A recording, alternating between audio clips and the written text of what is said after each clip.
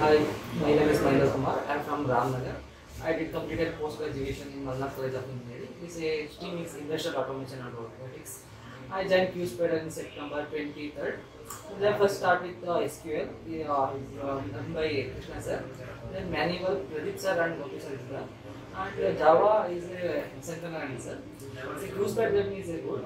So, uh, QSpiders is a good platform to learn the uh, uh, uh, applied in top MNC company. Then it's a